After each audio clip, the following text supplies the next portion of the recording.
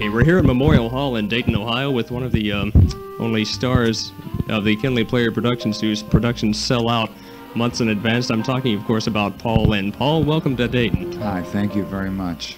Speaking of television, what can we look forward to from you in the 71-72 season? Well, as of right now, I'm going to be doing five Dean Martins, uh, five Glen Campbell, three Carol Burnett, thank God. That's my favorite show.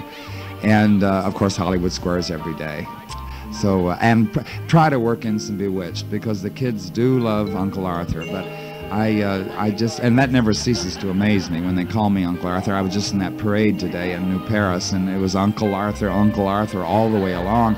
And I only do one Bewitched a year, so they must they must rerun my episode uh, every day or something because the kids it never ceases to amaze me that I'm Uncle Arthur to them.